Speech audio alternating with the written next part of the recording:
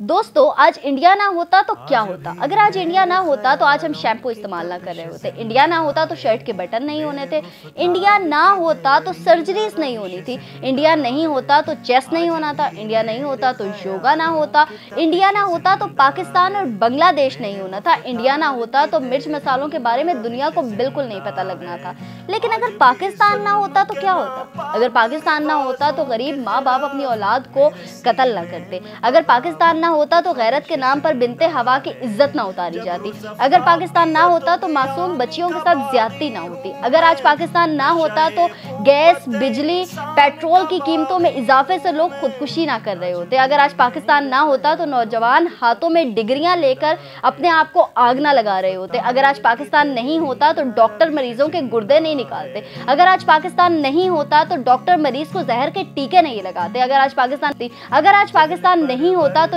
इंसाफ टकों पर नहीं बिकता। अगर आज पाकिस्तान नहीं होता तो करप्शन नहीं होती। अगर आज पाकिस्तान नहीं होता तो गैरत के नाम पर औरत कत्ल ना होती। अगर आज पाकिस्तान नहीं होता तो मज़हब के ठेकेदार मज़हब का धंधा कहीं और कर रहे होते। अगर आज पाकिस्तान नहीं होता तो मज़हब का चूरन ना बेचा जाता। और अगर आज पाकिस्तान नहीं होता तो आज के दौर में हम सुकून से कहीं पर ज़िंदगी बसर कर रहे होते। लेकिन याद रखिएगा कि मेरे वतन ये अकीदतें और जान तुझ पर निसार कर दूँ।